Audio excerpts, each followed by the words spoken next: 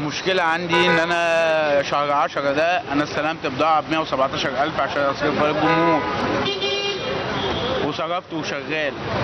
وصرفت حوالي 1500 بطاقة. وأنا ربطي 1300 بطاقة.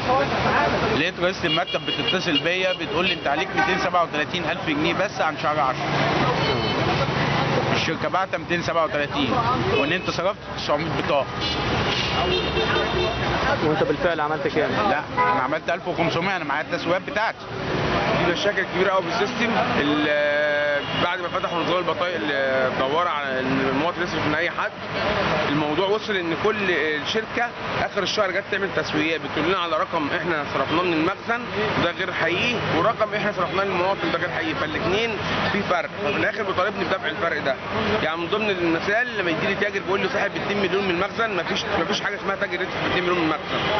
خصم آه، بيقول لك وصارف ب 140000 يعني هو عليه مليون و900000 مفيش رقم بالكلام ده.